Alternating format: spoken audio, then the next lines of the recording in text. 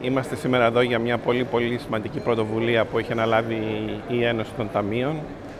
Η πρώτη, το πρώτο συνέδριο το οποίο θα βάλει τις βάσεις για πολλές μελλοντικές ε, ενέργειες που ε, σκοπεύουμε να κάνουμε.